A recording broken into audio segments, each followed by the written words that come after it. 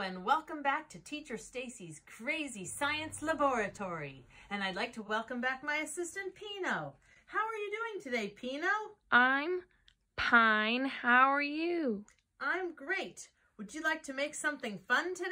Yes, I would. Okay, great. Today we're going to make something that I call Magic Rainbow Brew. And the fun thing about this brew is that it's messy. And messy things are always fun to make, aren't they, Pino? Yes, they are.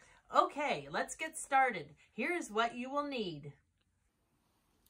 Baking soda, food coloring, a tablespoon, a regular spoon, dish soap, white vinegar, a small jar, and a dish to catch the mess.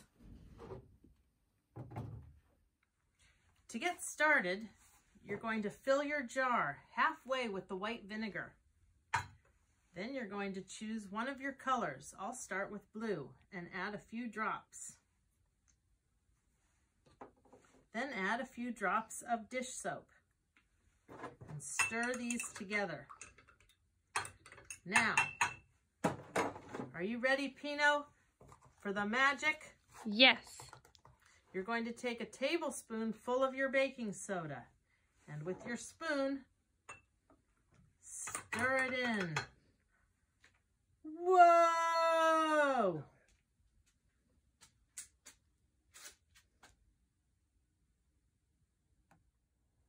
Now to make it a rainbow and add a second color, I have another tablespoonful of vinegar and I'm going to add a few drops of a second color.